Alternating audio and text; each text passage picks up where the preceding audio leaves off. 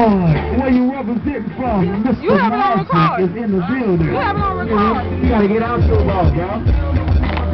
Yeah, get there.